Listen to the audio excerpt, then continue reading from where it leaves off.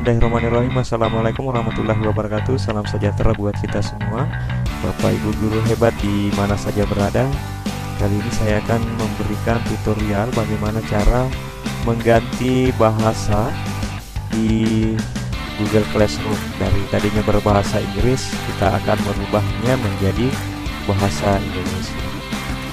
Ya, pertama kita lihat dulu akun classroom kita.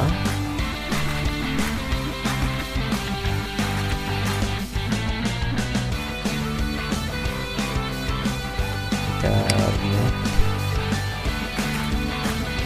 Nah ini ada stream flashmob people grade ini masih berbahasa Inggris. Nah sekarang kita akan merubahnya menjadi bahasa Indonesia.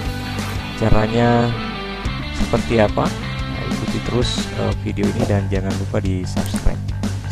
Oke pertama kita lihat di Google akun kita. Kemudian manage your Google account.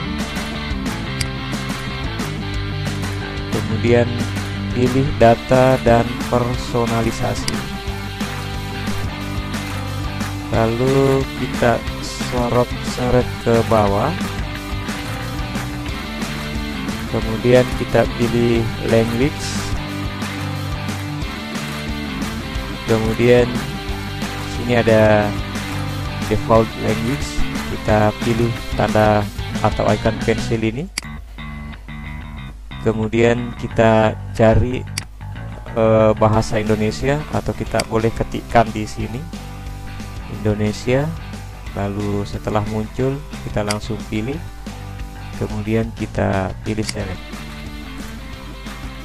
Oke setelah itu kita masuk ke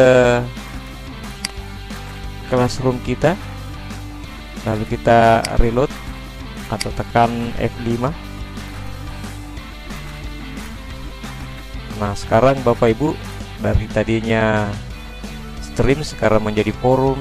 Ini menjadi tugas kelas kemudian anggota dan uh, ya selanjutnya bagaimana pula mengubah bahasa classroom di Android? Saksikan terus video ini. Langsung saja kita buka aplikasi classroom. Nah di sini kita lihat.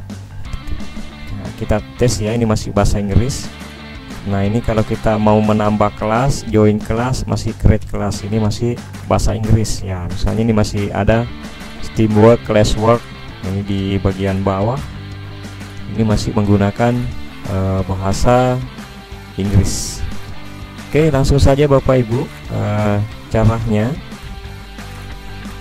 Nah ternyata Bapak Ibu uh, tidak bisa kita langsung mengubah bahasa di aplikasi Classroom di Android Nah, cara mensiasatinya Bapak Ibu, kita e, membuka Classroom di browser ya, di Android. Jadi kita buka Chrome di Android. Seperti ini Bapak Ibu. Oke, ini tampilan HP ya Bapak Ibu. Nah, ini saya landscape seperti ini. Lalu kita telusuri. Kita tulis di sini classroom.google.com lalu kita tekan ini pencarian.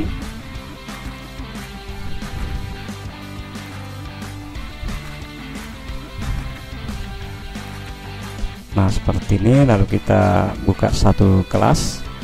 Nah ini sudah berubah bahasanya Bapak Ibu. Ya. Oke? okay. Nah, sebagai tips Bapak Ibu, sebelum kita membuka Classroom di Android, uh, usahakan dirubah bahasanya terlebih dahulu di laptop atau di PC. Oke, demikian tutorial bagaimana mengubah bahasa di Classroom. Terima kasih. Wassalamualaikum warahmatullahi wabarakatuh.